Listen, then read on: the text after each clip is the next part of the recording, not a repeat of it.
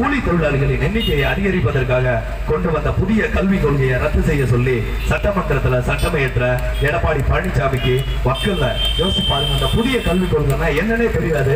எடப்பாடியா இருக்கு மூணாவதுல public exam அஞ்சாவதுல பப்ளிக் எக்ஸாம் எட்டாவதுல பப்ளிக் எக்ஸாம் இதெல்லாம் ஏன் வைக்கிறாங்க அப்படின்னா உங்ககிட்ட இருக்கிற விவசாய நிலத்தை வேளாண் சட்ட மசோதா போட்டு உங்ககிட்ட இருந்து புடிக்கிடுவாங்க ஆனா அந்த விவசாய நிலத்துல ஆறுடா வேலை பார்க்கறது அப்படின்னு பாத்தீங்கன்னா உன் வீட்டு பிள்ளையவே அங்க வேலை பார்க்கறதுக்கு கூலியா உருவாக்குறதுக்காக உருவாக்கப்பட்ட சட்டம் தான் இந்த புதிய தொழில் கொள்கை.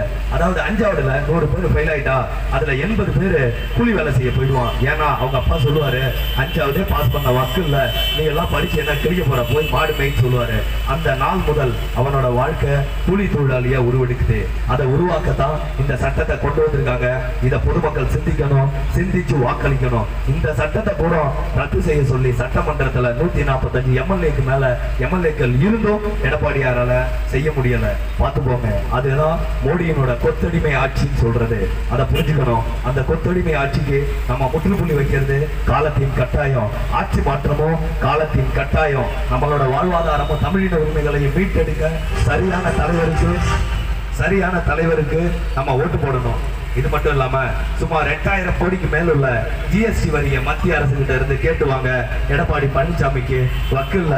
அதை சிந்திங்க சிந்திச்சு வாக்களிக்கணும். ஏன் சொல்றேன்னா ஒட்டுமொத்த சமூக மக்களின் வாழ்வாதாரத்தை தட்டி பறிக்கக்கூடிய சுற்றுச்சூழல் பாதுகாப்பு சட்டத்தை ரத்து செய்ய சொல்லி சட்டமன்றத்துல சட்டம் ஏற்ற எடப்பாடி பழனிசாமிக்கு வக்கில்ல.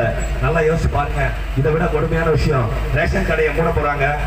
காய்கறி மார்க்கெட்டை மூட போறாங்க. மளிகை கடையை மூட போறாங்க.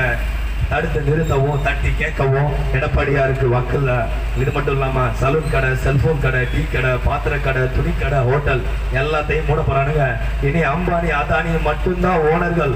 ஏன்னா இது சர்வாதிகார நாடா உருவெடுக்க போகுது. நீங்க போட போற ஓட்டுல தான் மக்கள் ஆட்சி இருக்க போதா? இல்ல சர்வாதிகார தலைவிரித்து ஆட போகுதா? அப்படிங்கிறது உங்க கையில தான் இருக்கு. நீங்க போட போற இந்த ஓட்டுல தான் உங்க வாழ்க்கையும் உங்க பிள்ளைங்களோட எதிர்காலமும் இருக்கு. அதை மறந்துடாதீங்க. மறந்தும் ஏப்ரல் ஆறு வீட்டுல விட்டுறாதீங்க எல்லா ஊர்லயும் ரெண்டு கிலோமீட்டர்ல இருந்து மூணு கிலோமீட்டர் ஷாப்பிங் மால் கட்ட போறானுங்க.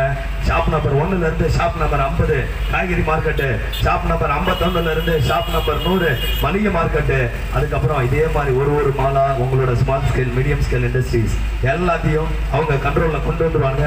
அவனுங்க தான் ஒரு ஒரு பொருளுக்கும் விலை வைப்பானுங்க. அந்த விலை ஒன்னால காசு கொடுத்து வாங்க முடியாது. நீ கூலி தொழிலாளியாவும் கொத்தடியமையாவும் உருவாக்கக்கூடிய நேரம் நெருங்கிடுச்சு. மறந்துடாதீங்க. அந்த கட்டடங்களை கட்டதான் ஷாப்பிங் மால் கட்டதான் உங்களோட விவசாய நிலத்தை புடுங்குறானுங்க. அதுக்காக தான் இந்த மூணு விவசாய வேளாண் சட்டத்தையும் கொண்டு வந்திருக்கானுங்க. அதனால தான் சொல்றோம். எட்டு கோடி தமிழர்களின் வாழ்வாதாரத்தையும் தமிழின உரிமை